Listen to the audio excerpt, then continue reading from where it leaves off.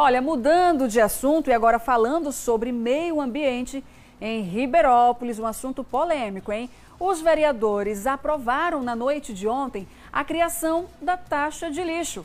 Seis vereadores votaram a favor da cobrança e quatro votaram contra. A taxa segue a adequação da lei federal que atualiza o marco legal do saneamento básico. Aí calma. Essa lei foi sancionada ano passado pelo presidente da República, mas aí a gente fica se perguntando: nossa, eu já pago tanta taxa?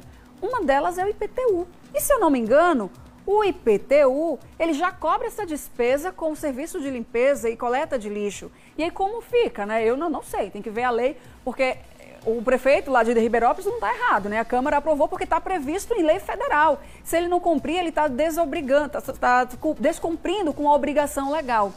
Mas não, tem, não é curioso isso? Porque acho que a gente já paga no IPTU essa parte de coleta de lixo. A gente vai pagar duas vezes, vai tirar do IPTU, a gente vai ter esse desconto no IPTU. Vou deixar vocês com essa dúvida, porque eu também tenho essa dúvida, viu?